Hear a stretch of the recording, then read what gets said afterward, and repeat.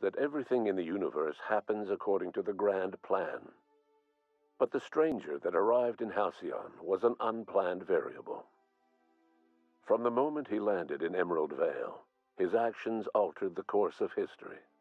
The events on Tartarus brought about the end of the board's authority. But the board's mistakes would haunt the colony for decades to come. The damage they left behind would require the work of a generation to repair. Dr. Phineas Wells began reviving a handful of the Hope's colonists engineers, scientists, technicians, and intellectuals. They were among the brightest minds the Earth had ever sent out into the stars. The Hope scientists and engineers woke up in a colony descending headlong into total collapse. With no way to return to Earth, they had no choice but to band together and devote themselves to the cause of saving Halcyon. The people of Halcyon were nothing if not hardy. In the absence of the board's authority, many of the colony's settlements banded together with a single purpose in mind survival. Life was especially hard in the years to come. Some towns dissolved by attrition and starvation, but most of them found a way to carry on. In the years to come, Halcyon was forced to reckon with its newfound freedom. The board was gone, and for better or worse, the colony was responsible for its own destiny. Between MSI's worker centric policies and the iconoclast's manpower, Sanjar and Zora were able to rally many of the Terra 2 townships to their cause. MSI's workforce swelled, and the iconoclasts enjoyed a significant surge in their ranks. The board was too distracted by infighting and internal politics to stop MSI from becoming a powerful corporation and a refuge for townships that might have fallen through the cracks. Consumed by paranoia, Lilia Hagen took Sublight Salvage in a controversial direction, openly accusing board officials of an extraterrestrial conspiracy. One day, an accident at the Groundbreaker's docking bay silenced her forever. Time would tell if her replacement could keep the Sublight family together. Adelaide McDevitt replaced Reed Tobson as the leader of Edgewater. She and her followers transformed Edgewater in their image.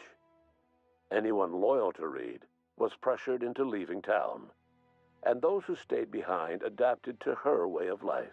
Adelaide transformed the old cannery into a new garden. The nearby Edgewater Cemetery provided a convenient source of fertilizer.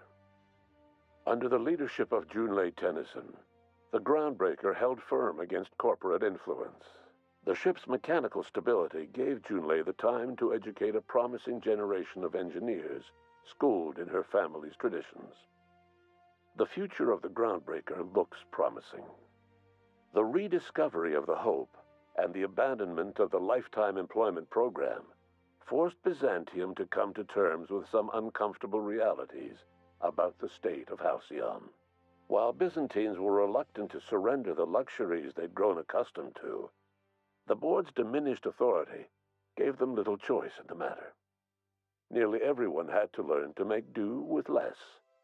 Some even had to get jobs. It was a dark time indeed. Your influence shifted Ellie's perspective. She finally admitted, albeit grudgingly, that she just might need other people. Sometimes. With a steady income from the life insurance payouts, she was finally able to afford a ship of her own. She hired a small crew and flew supply missions to communities on the fringe. Some of them were even legal. Life in Halcyon was sobering for Felix Millstone. The grand revolution he dreamed of never came. There was no great awakening for the colony, no celebrations in the streets. There was only the hard, desperate work of trying to repair a broken colony. Felix never had a head for numbers, but if there was labor to be done, he was there to help. Eventually, Felix realized that the work of a revolution was done with two hands. As much as he enjoyed his adventures aboard the Unreliable, the vicar, known as Max, eventually decided that it was time to move on. to live out the life he had sought so long to create. He knew there were many in the colony who carried burdens much worse than the ones he had struggled with, and he devoted himself to easing their suffering wherever he could.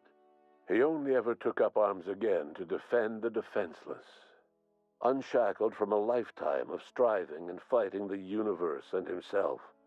Vicar Maximilian de Soto was finally at peace. Once the matter with the Hope colonists was resolved, Junlei bashfully asked Parvati if she'd like to join her permanently on the Groundbreaker, and Parvati enthusiastically, if somewhat awkwardly, agreed. The stories of her adventures spread across the colony, and Parvati soon found herself the center of attention. Having served as the engineer of a renowned spacecraft, tramp freighters and wildcat miners sought her out by name and in no time, she was a fixture in the groundbreaker's mechanical ecosystem. She and Junlei were never far apart. Nioka returned to Monarch to take another crack at making a permanent life for herself. She formed the Charon Group, a mercenary outfit of ragtag survivalists and wilderness experts. Anyone in need of a guide or just looking to throw back a beer and swap stories could find her camping on the trail or clearing an infestation. The SAM unit that accompanied you spread awareness of the product line's superior sanitation and maintenance capabilities across what was left of the colony. This led to a boost in SAM unit sales. Did you know that SAM units are the longest lasting, toughest acting cleaning solution in Halcyon? Minister Clark was released from house arrest, and his contact with you gave him a sense of renewed purpose and vigor. Once it became clear that no help would be coming from Earth, he threw his considerable efforts and talents into helping Halcyon manage the crisis before it. It was widely suspected that Sophia Akande was the true power behind Chairman Rockwell. However, after the riots on Tartarus, she was never again seen in the colony. Various theories circulated as to her fate. Some believed she boarded an interstellar ship capable of journeying to a distant colony. Others believe she died trying to escape Tartarus. Some few suggest she fled to Monarch, where she continued to live among a small band of loyalists. There is another theory, which suggests that Sophia's encounter with you changed her, and she deliberately retreated from public view, but continued supporting the colony in secret. When Dr. Wells began reviving the Hope's colonists, he found himself with a sudden windfall of additional supplies and resources, courtesy of an anonymous donor. If Wells knew who his supplier was, he never told a soul. Chairman Rockwell served as the public face for the changes in Halcyon to come. Whenever you needed strings pulled or a voice to sell a policy change, Rockwell was only too happy to oblige. As for Dr. Phineas Wells, he spent his remaining years in his orbital lab. He eventually came to terms with his own past and was able to forgive the mistakes of his younger self by devoting his remaining years to serving the colony. Dr. Wells was able to revive many more scientists and engineers than he first expected, thanks to the additional batch of chemicals you stole from the ministry. Wells never forgot about the human lives that were lost in acquiring these chemicals. In the end, Dr. Wells was able to save every scientist and engineer aboard the Hope. Over the next decade, nearly all of the Hope's remaining colonists were successfully revived. Halcyon saw a period of rapid technological and scientific advancement. Breakthroughs in dietary supplements saved the colony from starvation geoengineering projects, and social reforms began to change the structure and character of the colony. Dr. Wells laid the groundwork for the project to save the colony, but he would never live to see the fruits of his labor. He passed away a few years later. His work was carried on by the scientists and engineers he revived. Today, Halcyon has stabilized. The people of the colony work hard to adapt to their new circumstances. Nearby colonies send aid and supplies. Life will never be easy in Halcyon, but for the first time in its history, there exists a sense of real, genuine hope about the future. And what about you? The unplanned variable in the history of Halcyon. You brought an end to the chaos on Tartarus and made Chairman Rockwell your own puppet, a role he was all too eager to play. The colony never realized you were the true power behind the new administration. By acting vicariously through agents and third parties, you controlled Halcyon from the shadows. As a result, Halcyon survived the turbulent years that were to follow.